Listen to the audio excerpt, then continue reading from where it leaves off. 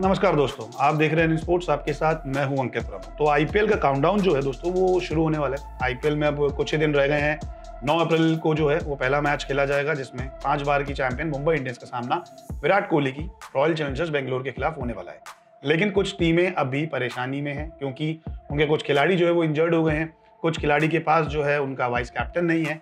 ऐसे में आज मैं बात करने जा रहा हूँ आपके साथ कि ऐसी तीन टीमें हैं, यानी कि दिल्ली, चेन्नई और राजस्थान, जिनको कुछ कड़े फैसले आईपीएल से पहले ज़रूर लेने होंगे, क्योंकि अगर ये फैसले नहीं लिए तो कहीं ना कहीं उन्हें मुश्किल आ सकती है। तो सबसे पहले बात करते हैं इस पूरे कार्यक्रम में आपके साथ कि दिल्ली कैपिटल्स को कप्तान की ज़रूरत है, क्योंकि उनके कप्तान श्रेयस अय्यर जो है, वो चोटिल हो गए हैं। वो इंग्लैंड के खिलाफ जब वनडे सीरीज़ चल रही थी, उनके कंधे में चोट आई, वो आईपीएल भी नहीं खेलेंगे, वनडे सीरीज़ भी नहीं खेल रहे। ऐसे में दिल्ली कैपिटल्स की कप्तानी इस साल कौन करने वाला है? पिछले साल हमने देखा था कि दिल्ली कैपिटल्स के कप्तान श्रेयस अय्यर ने अच्छी परफॉर्मेंस दी, अपनी टीम को फाइनल तक लेके गए, लेकिन फाइनल में जो थे, वो मुंबई इंडियंस से हार गए और खिताब नहीं जीत पाए। दिल्ली कैपिटल्स अभी तक जितने भी सीज़न आईपीएल के हुए, यानी कि तेरह सीज़न हुए हैं, उसमें खिताब नहीं उन्होंने जीता है, लेकिन इस बार उम्मीद थी कि जब स्टीव स्मिथ उनकी टीम में आए तो शायद ये खिताब जीत लेंगे, लेकिन उससे पहले ही झटका लगा, श्रेयस अय्यर जो है पूरे आईपीएल से बाहर हो गए। चलिए आपको बताते हैं कि कुछ नाम सामने आए हैं जिसको ये देखा जा रहा है कि शायद दिल्ली कैपिटल्स की कप्तानी जो है, वो उनको मिल सकती है। इसमें अजिंक्य राणे का नाम सबसे पहले है कि अजिंक्य राणे को बतौर कप्तान दिल्ली कैपिटल्स खिला सकती है, लेकिन पिछला सीज़न अजिंक्य राणे ज़्यादा मुकाबले नहीं खेले, लेकिन टी ट्वेंटी का उन्हें अनुभव है, उससे पहले वो खेल चुके हैं, राजस्थान की कप्तानी कर चुके हैं। तो एक नाम अजिंक्य राणे का सामने आया है कि अजिंक्य राणे को जो है, वो कप्तानी का मौका मिल सकता है। आर अश्विन का नाम भी इसमें सामने है, क्योंकि R Ashwin Kings one Punjab, जो पंजाब किंग्स हो गई है उसके कप्तान रह चुके हैं। उनको पिछले साल जो था, दिल्ली कैपिटल्स में शामिल किया गया। परफॉर्मेंस अच्छा था एक्सपीरियंस काफ़ी है। तो आर अश्विन का नाम भी कप्तानी की लिस्ट में सबसे तेज़ है। दूसरी ओर अगर हम देखें तो स्टीव स्मिथ जो ऑस्ट्रेलिया के हैं और राजस्थान रॉयल्स की कप्तानी कर चुके हैं, उनका नाम भी लिस्ट में सबसे तेज़ है क्योंकि वो ऑस्ट्रेलिया के कप्तान रह चुके हैं। स्टीव स्मिथ का पिछला सीज़न जो था आईपीएल के लिए इतना शानदार नहीं था। सातवें आखिरी पोजीशन पे जो थी, राजस्थान रॉयल्स उनकी कप्तानी में रही थी। लेकिन अगर इस बार ही वो पूरे आईपीएल खेलते हैं दिल्ली कैपिटल्स की तरफ़ से तो उनको कप्तान बनाया जा सकता है, उनके एक्सपीरियंस का फ़ायदा जो है, वो दिल्ली कैपिटल्स को आसानी से लग सकता है। तो ऐसे में कुछ तीन नाम जो है वो सामने यही है, आर अश्विन, अजिंक्य राणे और स्टीव स्मिथ जो है, उनको कप्तान बनाया जा सकता है। लेकिन युवा कप्तान की अगर बात करें, जो अभी ट्रेंड चल रहा है कि युवा कप्तान होना चाहिए, उसमें ऋषभ पंत का नाम सबसे ऊपर आया है, क्योंकि ऋषभ पंत की परफॉर्मेंस टेस्ट मैच से टी ट्वेंटी या वनडे में देखें तो काफ़ी शानदार रही है और आईपीएल उनके लिए काफ़ी अच्छा जाता है। हालाँकि लंबी पारी वो कभी कभार खेलते हैं, लेकिन अगर छोटी पारी और एग्रेसिव पारी की बात करें तो वो 15 गेंदों पे 30 से 35 या 40 रन बनाने का मादा पूरा रखते हैं। तो ऋषभ पंत को भी श्रेयस अय्यर की जगह कप्तान बनाया जा सकता है। ऐसे में दिल्ली कैपिटल्स के पास अभी कप्तान नहीं है और बहुत जल्द जो है वो फैसला हो जाएगा कि कप्तान कौन होगा, क्योंकि लगातार मीटिंग हो रही है किसको कप्तानी सौंपी जाए तो दूसरी टीम है चेन्नई सुपर किंग्स, तीन बार की विजेता, एम एस धोनी की टीम। उसका उप कप्तान कौन होगा वाइस कैप्टन कौन होगा, इस पे भी बहुत ज़्यादा चर्चा है। क्या जडेजा वाइस कैप्टन होंगे या फिर सुरेश रैना? क्योंकि एम एस धोनी कप्तान है और सुरेश रैना को 2018 के बाद भी कप्तान उप कप्तान बनाया गया था।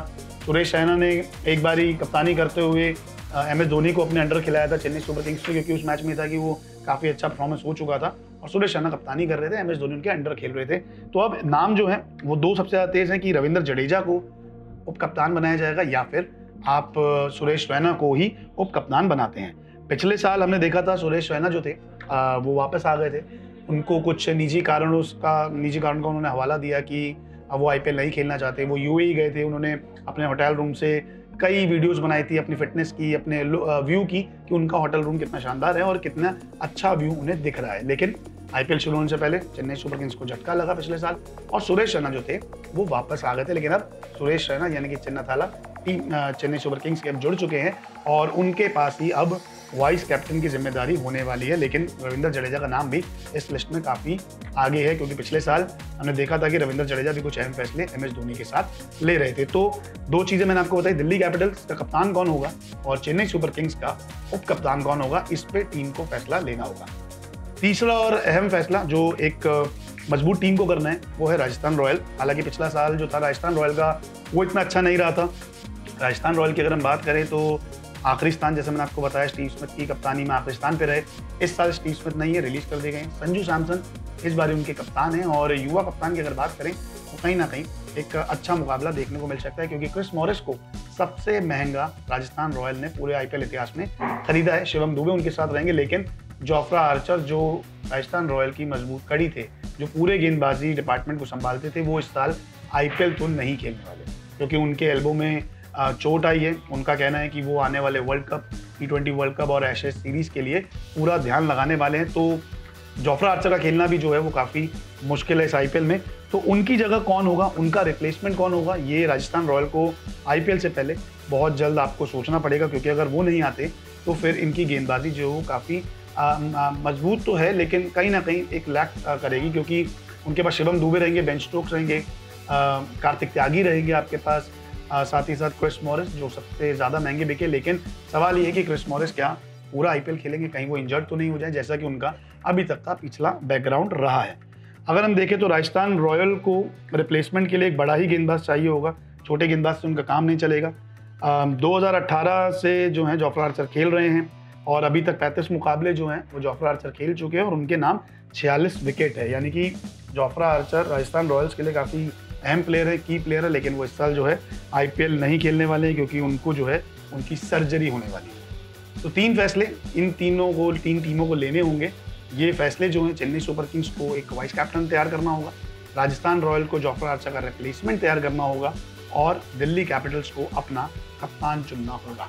मुकाबला पहला जो है 9 अप्रैल को होने वाला है, और 30 मई को आईपीएल 2021 का फाइनल होगा। तमाम अपडेट्स हम आपको देते ही रहते हैं, लेकिन आपकी भी अगर कोई राय है तो कमेंट सेक्शन में आप दे सकते हैं। आपको क्या लगता है कि दिल्ली कैपिटल्स का कप्तान कौन होना चाहिए? जॉफर आर्चर की जगह कौन रिप्लेस होना चाहिए?